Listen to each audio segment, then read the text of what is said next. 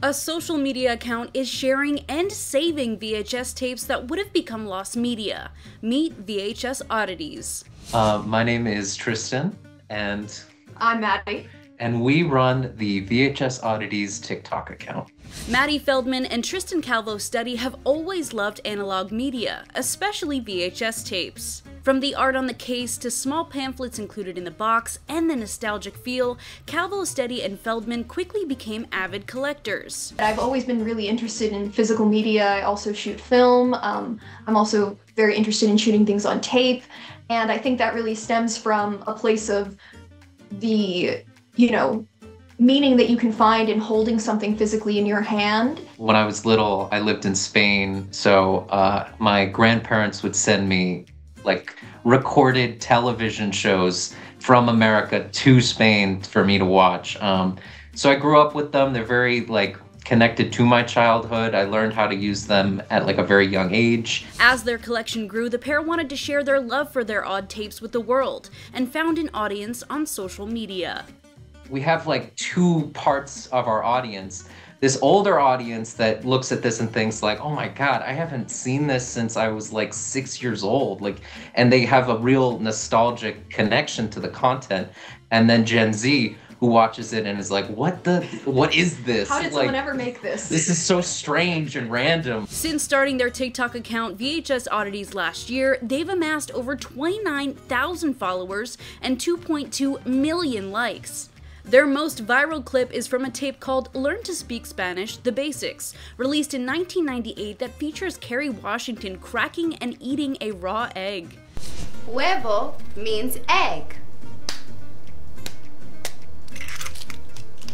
The bizarre clip earned a response from Kerry Washington herself and got their account featured on television.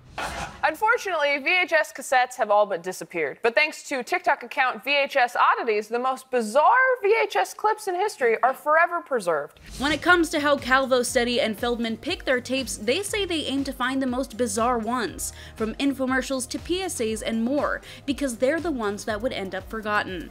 And I think for our audience, a lot of the things that we post aren't just clips from movies that you can find on streaming. It's clips from things that are very difficult to find anywhere else. But what we pride ourselves on is finding and preserving and archiving the um, tapes that wouldn't have an audience otherwise. We like to post something that's like under 30 seconds uh, and try to take as much context out of it as possible. So when you watch it, you just think like, like what, what is this? Intrigue is what really like fires people up and gets people interested in the content. The pair say digitizing tapes is a fairly simple process that anyone could do, and even shared a how-to video on their accounts for any fans wanting to get into it as well. Feldman and Calvo Studdy also have plans to expand the kind of content they publish, as they're currently planning a live show where they talk about the tapes, their origins, and interact with an audience. In the end, Calvo, Studdy, and Feldman are just excited to be able to share their passion with the world,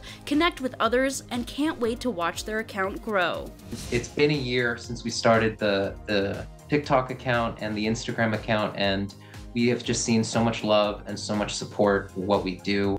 What I love about it is it's it's been such a big part of our lives for a year now, and it's it's our baby. It's what we come home to. It's what we constantly are thinking about when we're not thinking about school or work it takes up so much of our time and I I wouldn't have it any other way.